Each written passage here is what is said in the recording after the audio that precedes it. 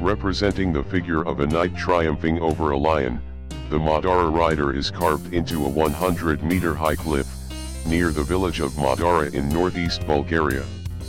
Madara was the principal sacred place of the First Bulgarian Empire, before Bulgaria's conversion to Christianity in the 9th century. The inscriptions beside the sculpture tell of events that occurred between AD 705 and 801.